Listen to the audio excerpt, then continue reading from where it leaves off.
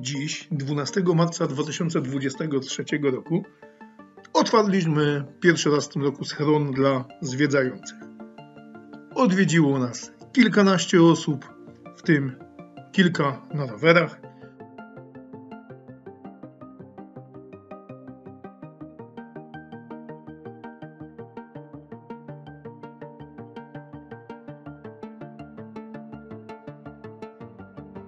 Porozmawialiśmy, wymieniliśmy się informacjami, doświadczeniami.